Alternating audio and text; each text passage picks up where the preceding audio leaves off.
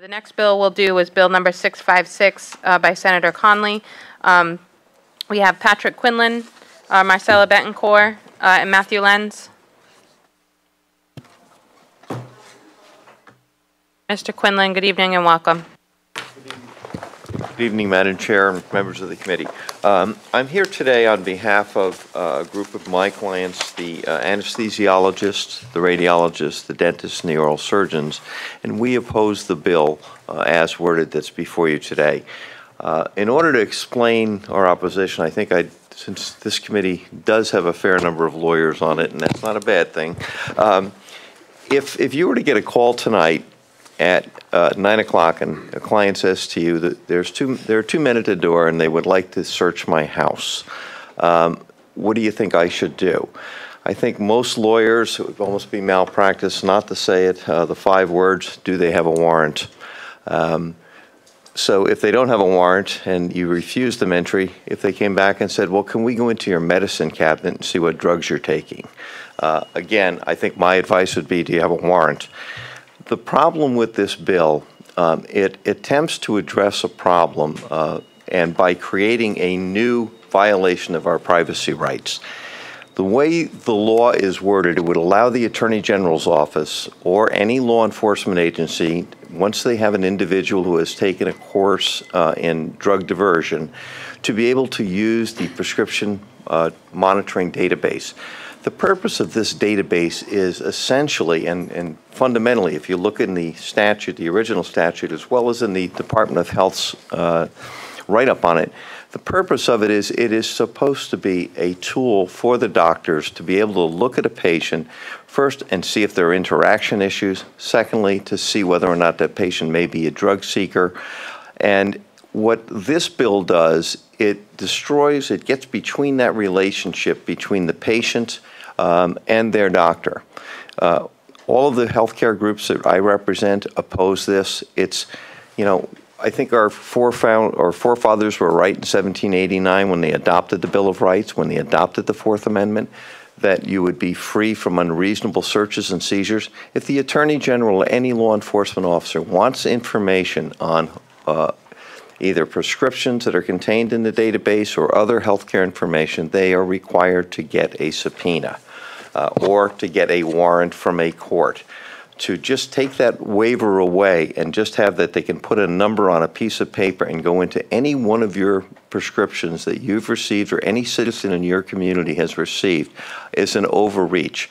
And particularly in light, if you take a look at the data that the health department does a very good job on, apparently 100% of the prescribers are now enrolled in the database, so they're getting a, a pretty good picture of what's going on. Uh, but if you look at the data, the data that's going on in Rhode Island in terms of overdoses, the overdoses are not uh, overdose of prescription drugs. For the most part, on almost a two to one ratio, they are fentanyl overdoses.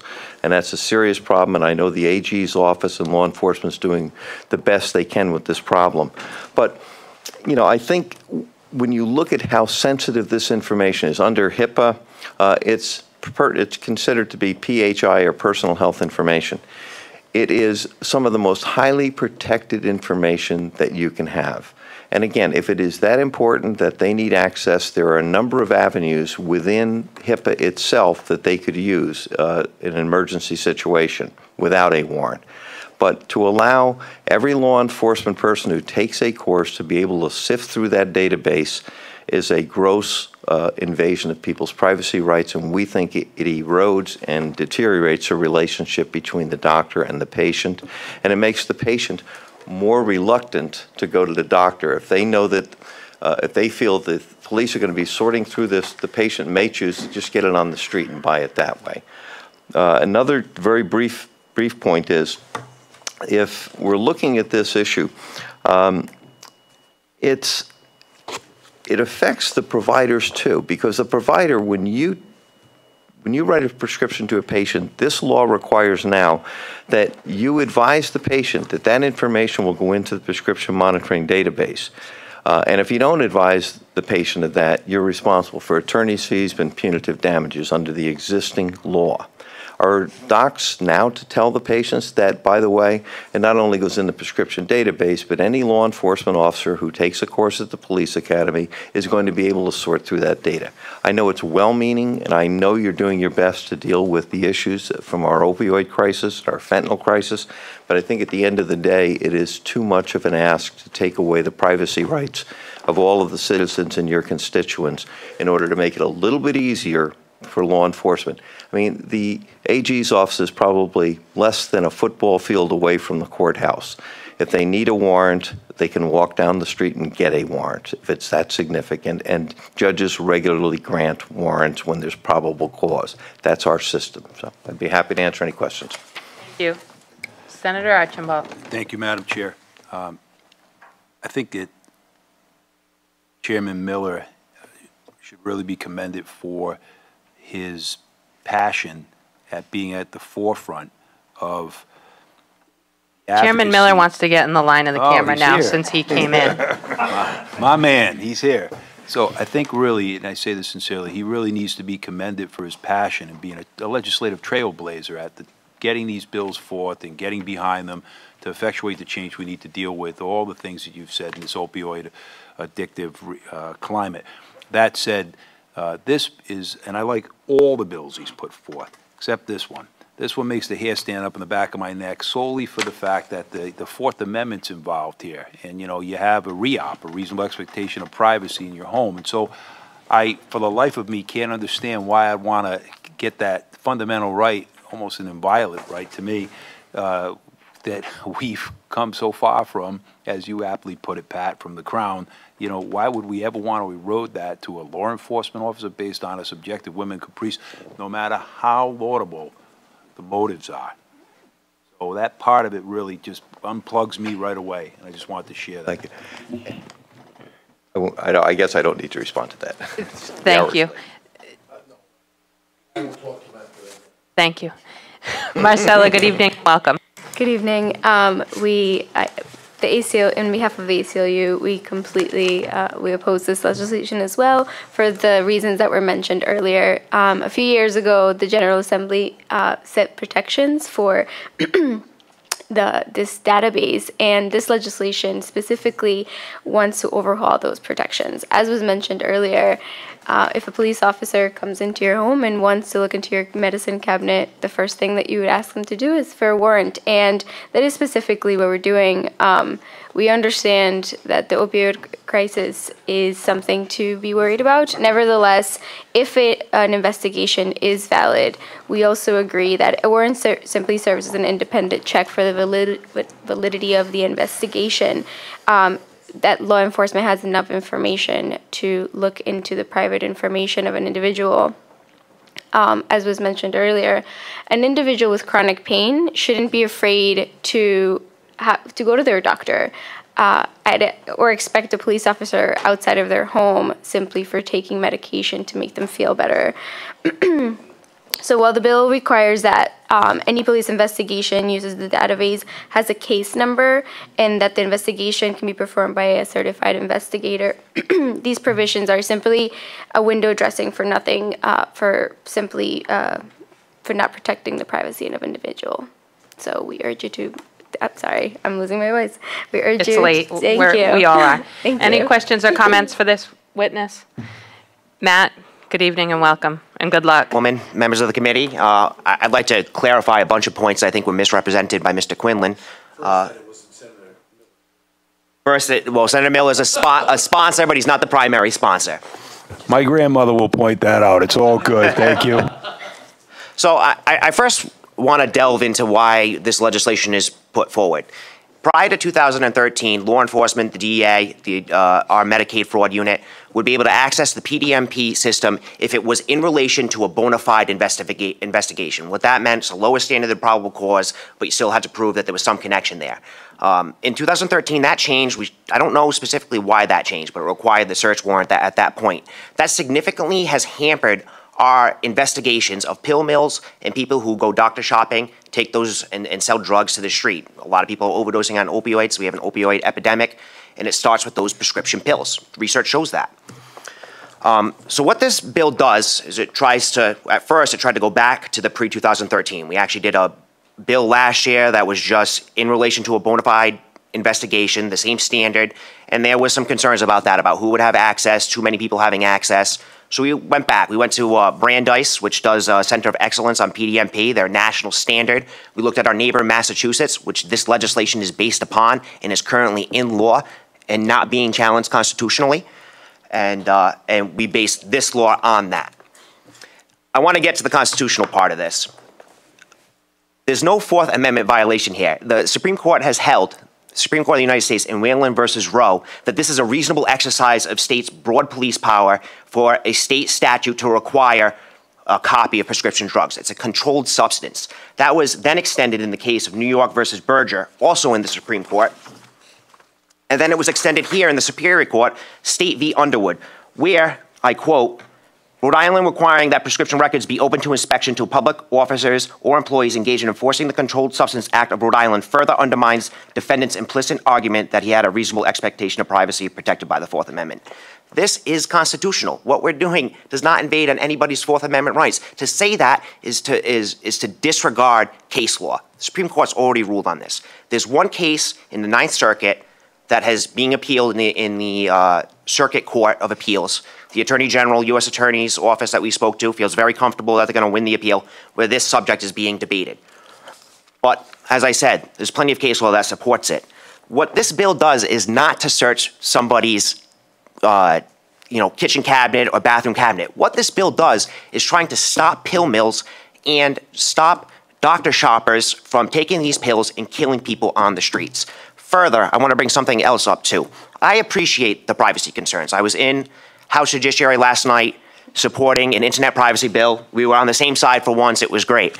Um, but, but what I'd like to see, and I'm going to open, I'm going to extend this olive branch once again, as I did when this was heard in the House, that the doctors' groups come to us. Maybe we can work together and figure out a way to uh, stop overprescribing. Because I want to let you all know, and these, these are proven statistics by the National Safety Council 99% of doctors are overprescribing prescription medications on a, on a poll that they did. The CDC recommends a three dosage limit. They're, they're going way above that.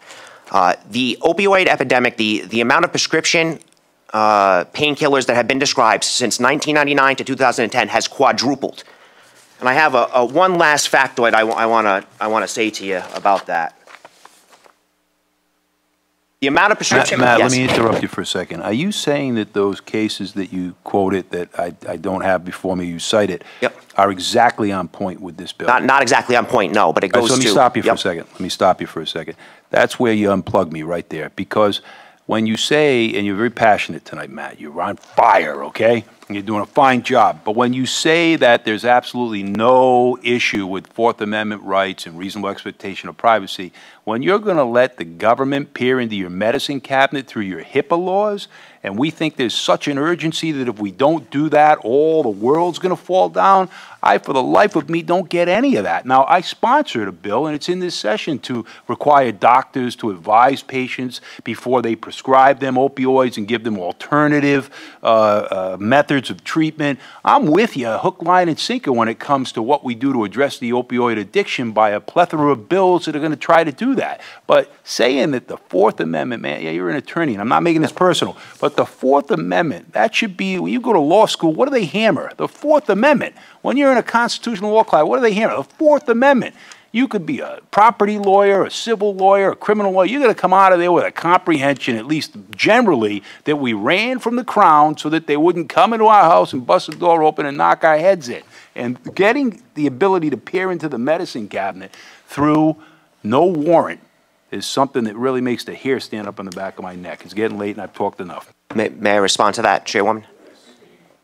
Can I just respond to that quickly? Sure. And I, and I appreciate that, uh, Vice Chair uh, Archambault, but the Supreme Court has, has ruled, U.S. Supreme Court has ruled that prescription drugs don't have the same reasonable expectation of privacy that other actions do because it's a controlled substance. It's within the state police powers. That's their decision, not my own point of view. Within, I have- can I ask a question? Yep. Within HIPAA or within the Fourth Amendment? Within the Fourth Amendment. Okay, so what about, I mean, I would, I would imagine that HIPAA would cover whatever drug has been, and I, I'm actually breaking my own rule by belaboring this point, but what I perhaps would suggest is that um, per- perhaps you get to us any distinct, or maybe Mr. DiLauro is a better person to ask to do this, but any distinguishing features between the statute that you've presented to us and, and the case law, or Mr. Quinlan, whoever um, wants to do it. But I f- have a feeling we could argue about this all night, because that's quite frankly what we do, and I've been begging them not to argue with you for the last 10 minutes, but Senator Lombardi is going to jump in and give us. I, I'm not going to argue, but, uh, you know, uh, whenever I hear that a case is distinguishable, then I want to read those cases. Yep. So I'm going to ask that you provide us with those cases. Absolutely. So we can take a look at them. Absolutely. Thank you. Any other questions or comments? May Senator just- Metts? Just, uh, I was sick a few weeks ago, so they gave me some cough medicine. I had to show my license and I had to sign. Now, uh, that list, who, who, who gets that list? That's, that's what I'm curious about. No, no, it, it would have to be in connection still with a, with an investigation. It has to, it still seeks approval from the Department of Health over the, the course. So, no, I'm just saying, so, so the, uh, uh, the, um, uh, the, the the pharmacy, the pharmacy that I go to. Yep. They, they, they're keeping, they're keeping records. Correct, yes. All right, so they're keeping records. So if there is a doctor that's overprescribing, how is all that police? They're just keeping it to be keeping it? It must, that data must, somebody must be using that data. I'm, I'm, I'm curious now. Uh, What is that, what is that data? So data ends up in the system and it's supposed to be utilized by doctors, pharmacists, it's to, to, to, to prevent, you know, doctor shopping. Uh, it- It's, so, for example, like a doctor can check the PDMP to see if you've been to six other doctors to, uh, to, uh, get Vicodin, oxycodone. Um, So it's still, it is being utilized by folks, correct? Been utilized by doctors and? Doctors, pharmacists, I think others have access to under the electric, uh, ele- under the database. I would have to pull it to see. Yeah. Senator Lombardi? I, my concern now, and, and again, I, at the risk of getting the ire of the chair now that I'm opening my mouth, but, but Senator Metts cough medicine prescription that he just talked about goes into a database, no question about that. Senator Metts, by his own admission tonight, said he's 69 years old. So that means that he is Medicare eligible if a doctor is being investigated for Medicare fraud, inevitably, it may trigger Mr. Uh, Senator, Mr. Senator Metts's right to privacy in that case. So not only the doctor that's being investigated, but the patient whose information is within that database.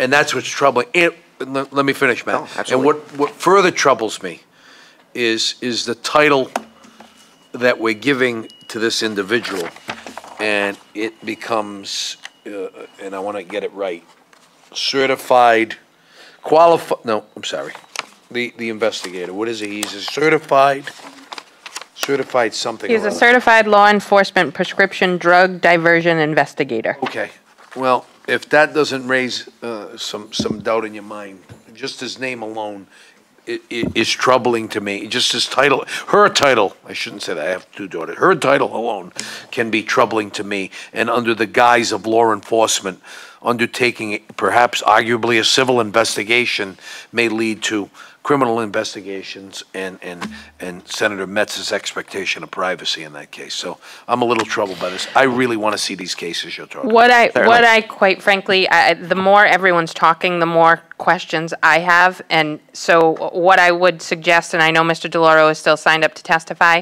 um, but I think that to, to even discuss this bill further, I think that we have to have some very serious discussions about definitions and what, I- it's raising questions for me as to what types of investigations, quite frankly, they're looking at, and are these going to be um, confined just to these drug houses that you're talking about, or if somebody's being investigated for, let's say, some sort of campaign finance violation, are they then going to get access into, into the drug database to see if they can get into somebody's house some other way? But this is, I grew up in a house with a bunch of defense lawyers, so I think very strangely sometimes. understandable, So, understandable. uh, having that, having, you know, said all of that, I think it's very clear that, at least for the time being, that we're going to need to hold this so we can work out whatever issue. And I feel bad for you, quite frankly, No. that everybody's attacking you. No, and, and I, I just want to, it's what I get paid to do, I guess. Um, and Joey comes back next week, so she can have the tough week next week. Um, and, I- and I just want to end with this. We are willing to work with anybody. The, the, the, I guess the part that um, makes me so fired up is because we offer to work with folks, and then they just don't want to work with us. They just want to say, oh, no privacy, and, and that's it. So I, I just want to uh, throw that out there that we're willing to work with anybody. Thank you. Well, Um, the good, well, the good thing, up? the good thing, Matt, is you, you got a medicine cabinet like the rest of us. I sure do. sure do. May I just- Mr. Quinlan? Yes. qui- Very quickly. Very quickly, um, you know, the search for pill mills, we agree there should be efforts to shut down pill mills. We also agree on doctor shopping. The health department, last year, you gave them power to do analytics of it, to be able to identify these, and there's nothing in there that prevents the health department saying, look at Dr. Smith, look at Dr. Jones. He issued, you know, 9,000 prescriptions last month. Second issue is, last year also, in the opioid uh, crisis package you passed, one of the bills you passed were specifically regulating the amount that one can prescribe. So if someone is prescribing beyond those limits, and they were just enacted into the regulations, which the Senate and House asked them to do. So there, uh, was it minimum more, I mean, uh, morphine equivalency units, and that's the max. And they, every doc has to check before they issue a prescription. Has to go to the database to see if it's a drug seeker, um, and they get letters from the database that you saw a patient who is a drug seeker. They don't tell them who, but they will tell the doc, and the doc can then go up and check their schedule. So there are very good controls put in place already by the health department. It's my recollection that in the House, the health department opposed the proposed legislation, which I believe is identical to what's before this committee. I certainly will. Thank you. The last witness we have signed up to testify uh, on this is Mike DiLauro from the Public. Def- I made no such promise. I said he, he signed up. Mr. DiLauro. So I was checking off the things that I was going to say, listening to Mr. Quinlan, and I checked them all off. And I only have two things to say to you tonight that hasn't been said. Um, we have a very proud uh, history in Rhode Island um, in protecting this type, type of information. Uh, Article 1, Section 6 of the Rhode Island Constitution is substantially different than its federal counterpart in the Fourth Amendment. For example, it's our search warrants have, must describe, quote, as nearly as may be the uh, area to be searched and what is to be searched for. And we were also, we have a statute, uh, 91925, which uh, is a statutory exclusionary rule um, which really implements Article 1, Section 6. Um, and that, that statute was adopted by this and enacted by this body uh, quite a few years before Mapp versus Ohio, which was the case that really established the exclusionary rule. So I, while I have a tremendous amount of respect for uh, Mr. Lens, um, and I'll just say one last thing. I remember the hearings on this bill back in 2013, and I'd be willing. Boy, I, I seem to recall that uh, those of us who came in and opposed it, and there were a lot of us, were assured that there were protections in this bill that um, that would protect us.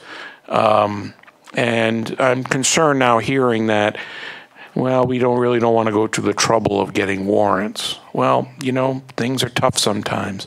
The last, absolutely last thing I'm going to say is I'm in deep, deep trouble on this one because I keep all my medications on my bureau, so they're all in plain view. So when the, so when the cops come in, I'm in, I'm, you know, I'm, I'm dead to rights.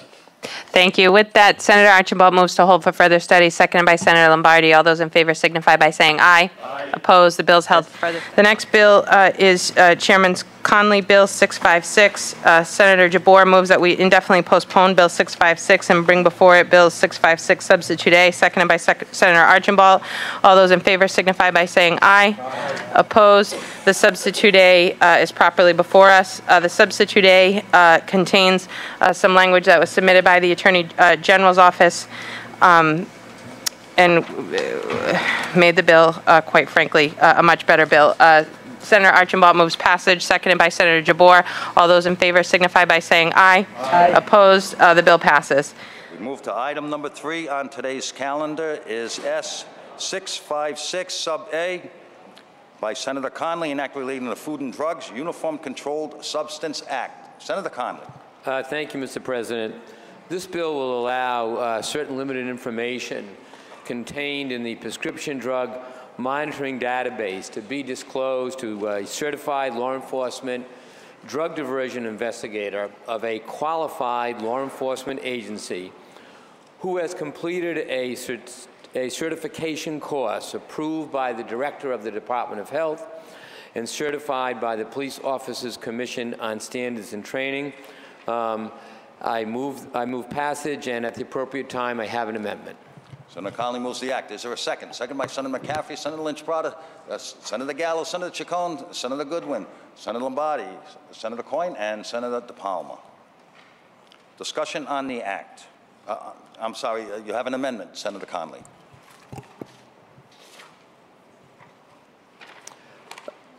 Uh, The amendment, Mr. President, um, it's LC 001229 uh, backslash 3. Um, I hereby move to amend 2017 uh, S05, uh, excuse me, 0656 Substitute A, entitled An Act Relating to Food and Drugs Uniform Controlled Substances Act, as follows. On page 12, line 11, after the language January 1, 2018, by adding the following language, and the amendments hereto shall expire on January 1, 2023. In essence, this creates a five-year sunset provision. Senator Conley moves the amendment. Is there a second? Second by Senator McCaffrey, Senator Lynch Prata, Senator Lombardi. Is there discussion on the amendment? Hearing none, the clerk will unlock the machine.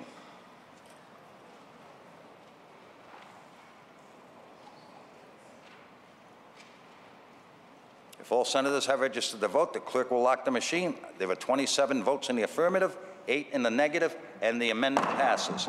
On the act as amended, Senator Conley moves the act as amended. Is- Is there a second?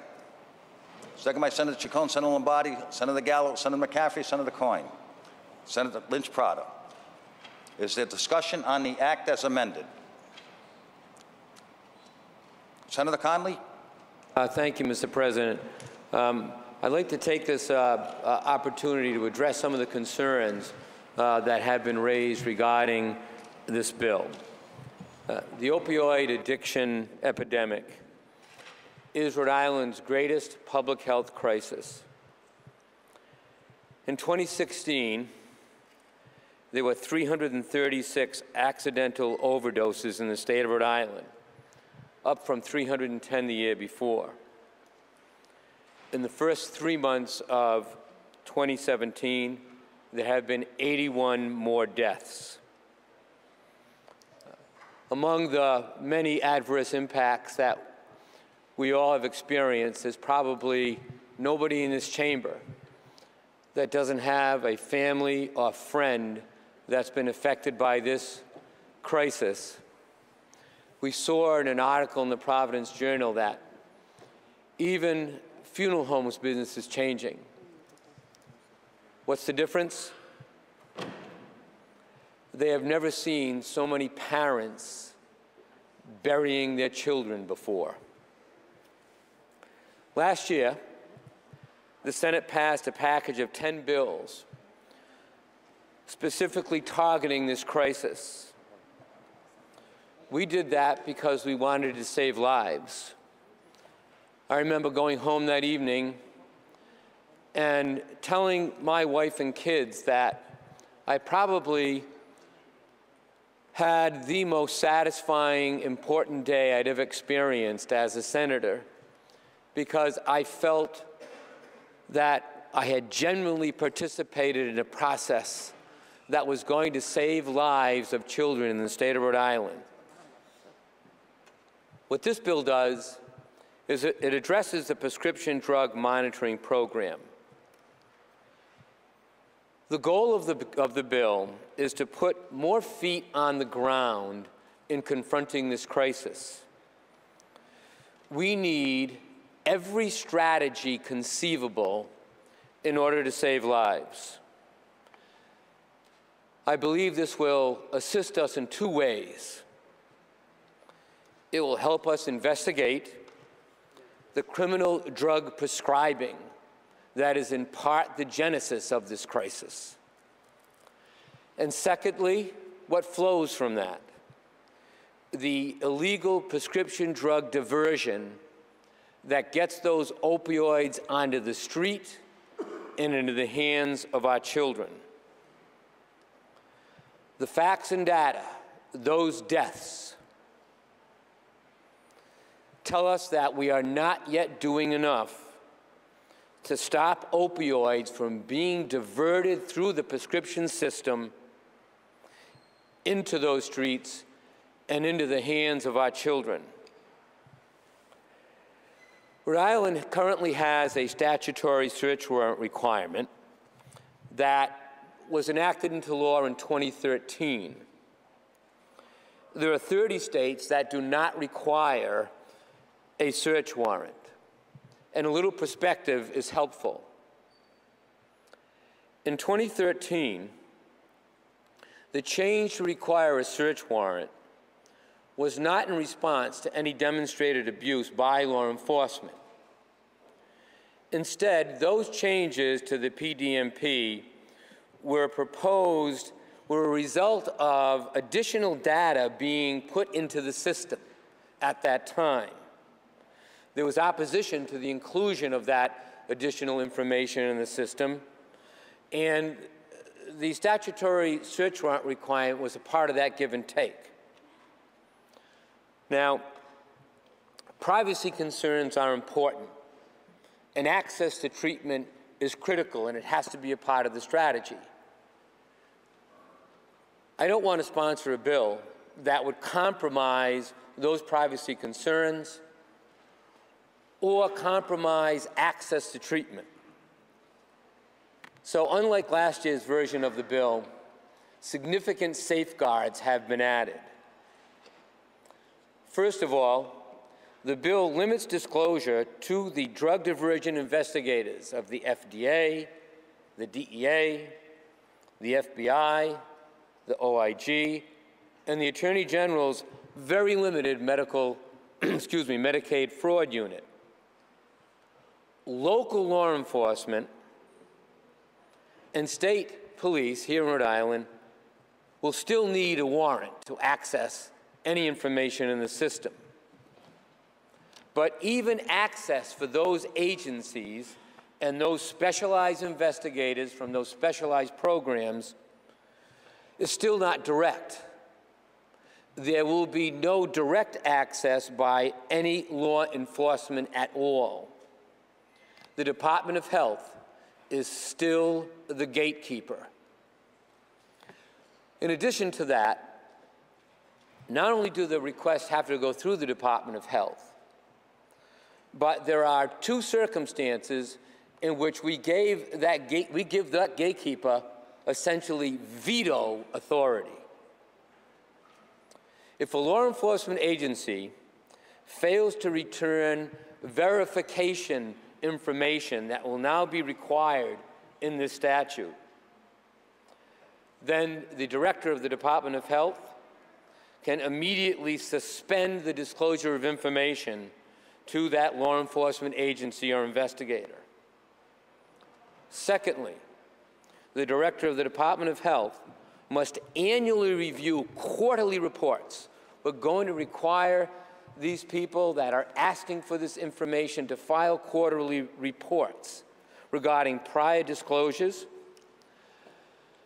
and essentially the impact and the outcome of those requests. The Director of Department of Health, in reviewing those quarterly reports, may make a determination that that access is being abused, not used properly, or simply not satisfied with the reasons for the requests or the uses that have been made of it. It's essentially an open-ended decision by the director. There's no need for the director to set up specific criteria. You have to provide notice and some articulable reason for it, but the director of the Department of Health will retain the authority to suspend and deny access to the system.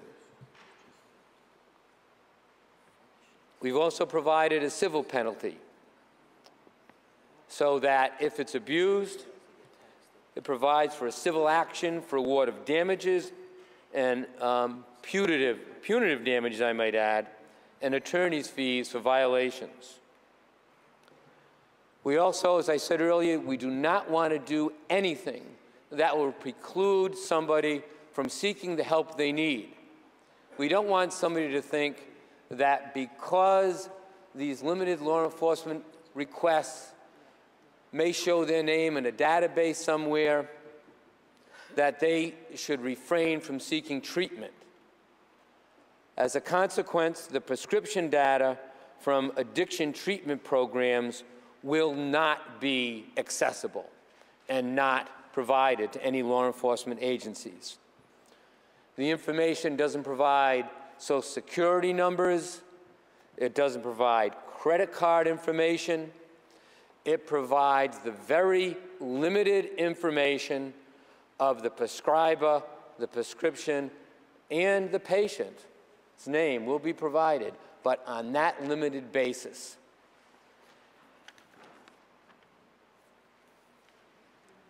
The bill, I think, strikes the proper balance between protecting privacy, protecting access to treatment, and giving us one more strategy to fight the opioid addiction epidemic in the state of Rhode Island. And it is for those reasons that I support this legislation in this format. Mr. President, thank you for the indulgence for allowing me to explain um, some of the details of the bill. Thank you, Senator Conley. Senator Corcoran. Thank you, Mr. President. And um, I do want to say that I do appreciate the intent of this bill. However, I rise in opposition. Um, the PDMP today contains information on a patient's name, their prescription, and the dosage. And unfortunately, there's nothing in this bill that states that that information would not be passed along to one of the people in those agencies without a warrant. Um, I just feel that this is crossing a line on the original intent of what the PDMP was intended, um, which was supposed to be used for physicians and pharmacists to make sure that there were no contraindications from prescriptions that patients were taking.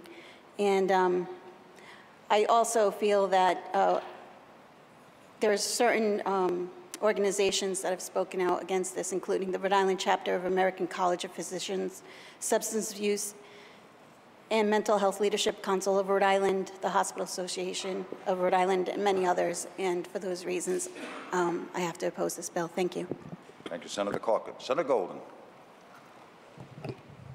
Thank you. I also rise in opposition to this bill. Um, like Senator uh, Conley, I too was very proud of the work that we have done as a General Assembly and particularly in the Senate to address the opioid crisis. I think it has been something that all of us would like to figure out a way to address and do what's best for our constituents and our own community um, and our friends. Um, unfortunately, this bill is a step uh, away from the policies that we set forth as the Senate last year when we viewed the opioid crisis as a mental health one. What this does is view it as a criminal, something that's criminal.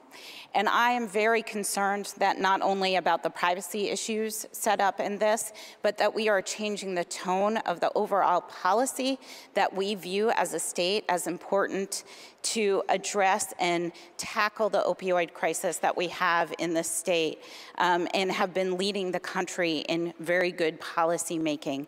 This takes a shift away from that. You know, um, Sarah Calkin man, man, mentioned some of the opponents of this, and um, there are I believe, 20 organizations that represent our medical community, our mental health, and our substance abuse community in the state who stand in opposition to this bill. Um, I realize we just amended it to to sunset it, and I want to explain also why I voted against that. I think this is bad precedent and policy, and sunsetting it as we have amended the bill to do so merely says that we'll allow for a few years to have bad policy. We have not even really allowed the bills that we passed last year into law to address the opioid epidemic. Um, we haven't really allowed those to do the work that we need to do and given them the time to address this issue from a mental health perspective. And so I encourage you to think about that as you vote on this bill. Thank you. Thank you, Senator Goldin. Senator Quezada. I, I rise in opposition of this bill for the same reason, and I don't want to re repeat the same thing they already said. I really afraid, and I'm, a, you know, I'm very sad for all those family that he mentioned. They lost their family uh, for drug addiction. But at the same time, I'm afraid the minority community will be affected more than anybody else with this bill. And I don't think it's anybody who taking medication that is uh, a privacy for them, and that's the reason I completely will vote no on this bill. Thank you. Thank you, Senator Quezada. Is there further discussion on the act? Hearing none, the clerk will unlock the machine.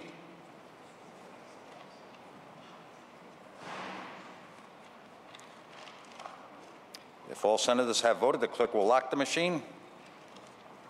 There are 21 votes in the affirmative, 14 in the negative, and the act passes. Leader Shekarchi. Thank you, Mr. Speaker. At, at, this time, I'd like to move the consent calendar, please. Leader Shekarchi moves the consent calendar. That